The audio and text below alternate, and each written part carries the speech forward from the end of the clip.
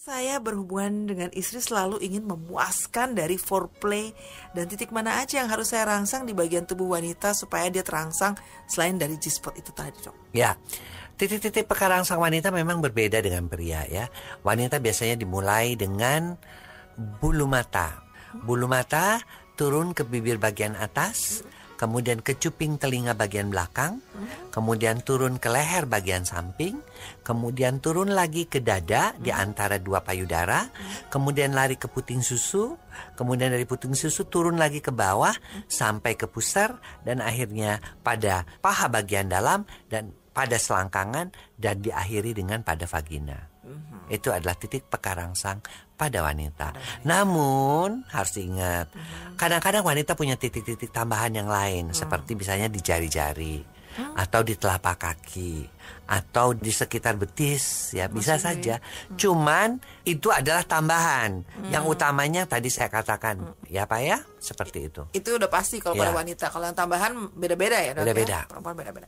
Emang bener dok hanya seberapa eh, perempuan aja. Nggak semua perempuan memiliki G-spot. Dan apa yang harus dilakukan sama pasangan supaya bisa, oh iya ternyata bener nih G-spotnya seperti yang tadi dokter katakan gitu Iya, loh. jadi memang betul ya sekitar 60 sampai 72 persen. Beberapa penelitian, termasuk penelitian-penelitian di terhadap suku-suku di Asia Pasifik ya, penelitian-penelitian di Amerika sendiri hanya menunjukkan sekitar 60 sampai 72 persen. Tapi nggak usah takut ya, kalau dia tidak punya G-spot, orgasme tetap melalui klitoral. Tapi juga ada titik-titik lain yang bisa eh, membuat dia itu orgasme seperti payudara.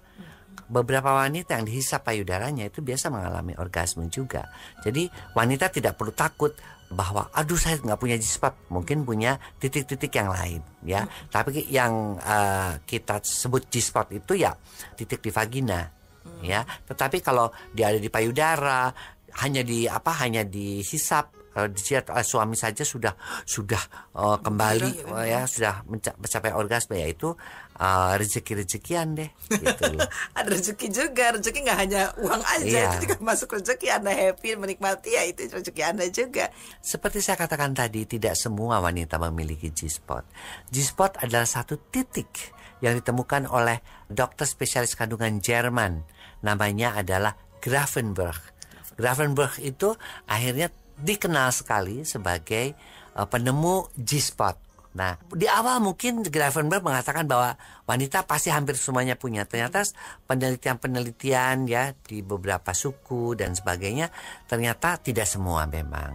Tapi Anda tidak usah cemas karena kalau Anda tidak punya G-spot masih ada titik-titik orgasme yang lain seperti payudara, cuping telinga bagian bawah itu juga memberikan sensasi yang eh, mirip dengan sensasi G-spot. G-spot pada wanita mitos atau fakta ternyata itu bukan mitos itu benar-benar ada dan fakta kalau ternyata anda tidak memiliki G-spot tapi ada sesuatu yang lain di diri anda yang membuat kenikmatan tetap terjaga pada saat anda berhubungan dengan suami atau eh, pasangan anda